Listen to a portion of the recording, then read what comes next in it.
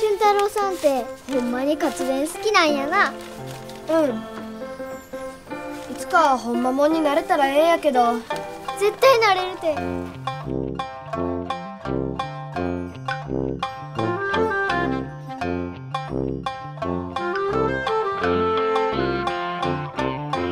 活動大写真の花形はすこぶる非常に春や春。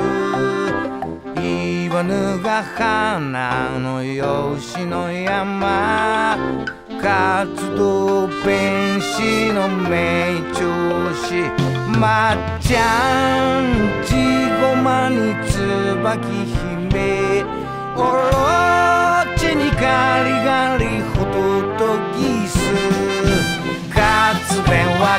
ギチョンチョンでパイのパイのパイ。酔わせて泣かせて笑わせる。Hey!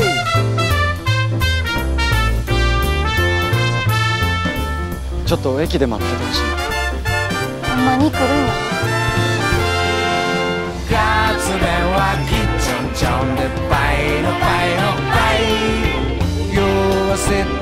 かせて笑わせる活動をベンちゃんちゃんがしゃべくりゃほい酔わせて泣かせてちょいなちょいなちょい